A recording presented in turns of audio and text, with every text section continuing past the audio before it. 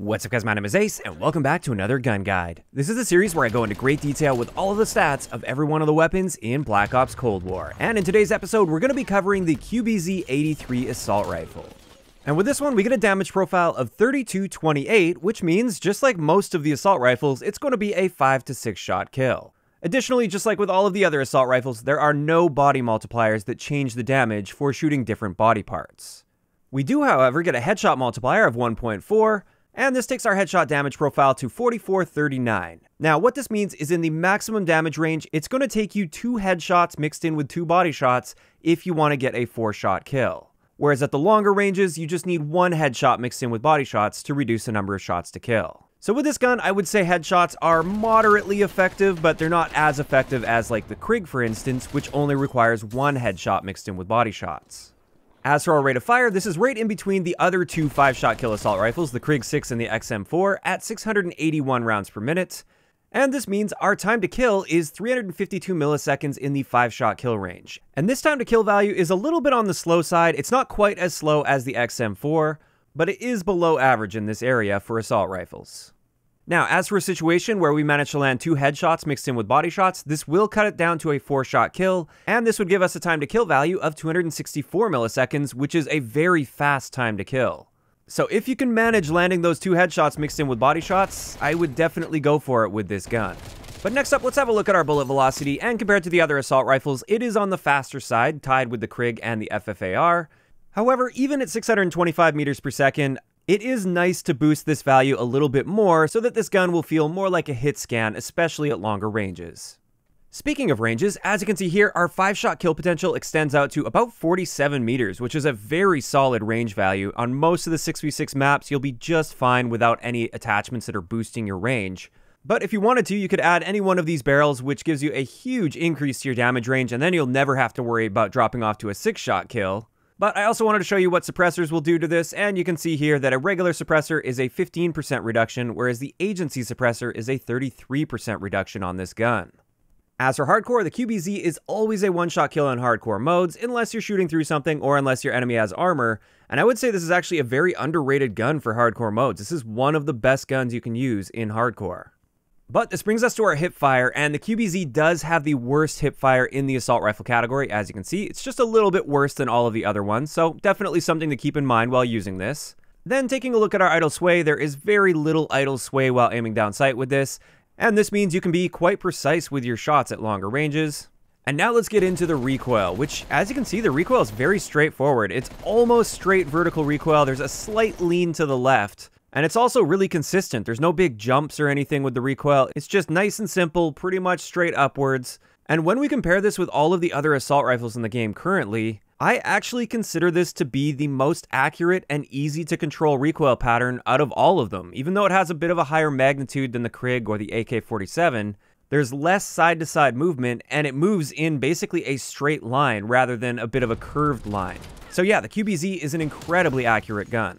On top of this, our handling is great as well. It has the fastest base aim down sight time out of all of the assault rifles at 283 milliseconds. All of the other ones are 300 milliseconds. And then our experienced sprint out time in game is 266 milliseconds, which is pretty standard for the assault rifles. As for our reload add time, this is right around average for the assault rifles at 1.59 seconds, so it's not super fast, but it's also not slow by any means. Also, of course, our reload time will change depending on the magazine that we're using, and these are all of the reload times with the different magazines. And this brings us into our movement speed, which is quite unique with this gun. It's sort of like a hybrid between an SMG and an assault rifle when it comes to movement speed. So our base movement speed is 97.5%, whereas all of the other assault rifles are 95%. And this little boost applies to our sprint movement speed as well. This is faster than all of the other assault rifles, and our aim down sight movement speed is also faster than all of the assault rifles. It's only by a small margin, but it is faster. And with that, that pretty much covers it for the basic stats of the QBZ-83. Now let's move into the strengths and weaknesses. And when it comes to strengths, we've got a lot of really good strengths with this gun. I could even add more to this list, honestly, but it's got the best aim down sight time out of all of the assault rifles. It's got the best movement speed out of all of the assault rifles, so in some ways it's kind of like a hybrid with an SMG. However, we still maintain really good recoil properties as well. So not only do you get the benefits of faster handling and mobility, you still maintain great accuracy while doing that. As for the weaknesses, obviously it has the worst hipfire in the assault rifle category as we've already covered, so that's just something to be aware of while using this gun. And also, it does have an above average time to kill, and by above, I mean the time is above average, and therefore that's not a good thing. It does kill a little bit on the slow side when you compare it to other guns like the AK-47 for instance. And honestly, I feel like that's the only thing that's holding this back from being the best assault rifle in the game. If it had a faster time to kill, it would be practically untouchable by any other assault rifle, but that's what keeps it in check. And this is where I want to move into the 15 and a half inch task force barrel. I've been covering this with all of the assault rifles. It's the barrel that boosts your damage, and therefore I get questioned about it quite a bit. Is it worth using? Well, with the QBZ, it boosts our damage profile to 3430, which means now it's always going to be a 5-shot kill, even at longer ranges. However, up close, where you should be challenging your gunfights most of the time, it's still going to be a 5-shot kill, and this is where we get into the headshot multiplier. Our headshots are now going to be 47-42, and when you do the math on this, this doesn't actually change the number of headshots required to kill up close. You still need to hit two of the bullets to the head and two to the body if you want a 4-shot kill, and since this barrel massively increases your recoil, there's really no benefit to using this barrel at all, and I would say avoid this one at all costs on the QBZ. And with that, it's finally time to move into some great attachment combinations and example class setups that I have for you guys. And the first class setup, following suit with the previous gun guides, I really like using a stealth build, so that's what the first one's going to be. And with this, of course, we're using a suppressor so we can stay off the radar.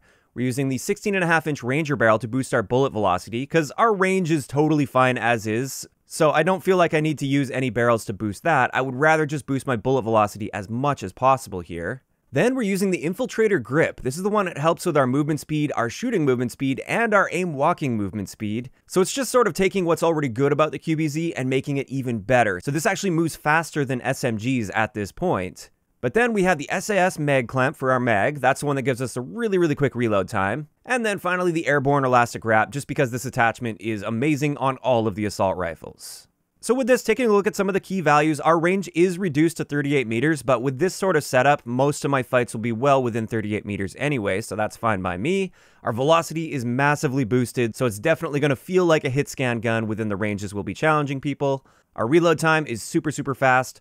Sprint out time is a little on the slow side and it's something you've got to be aware of. It's about 300 milliseconds, but our aim down sight time is just 215 milliseconds, which is quite fast and snappy.